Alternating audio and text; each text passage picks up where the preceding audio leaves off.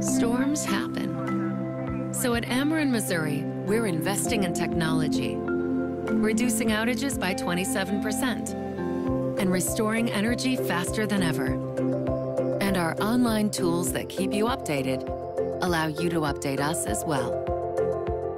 In the end, everything we do is about making a connection with you. Connect with us on Facebook, Twitter, and AmerenMissouri.com slash outage.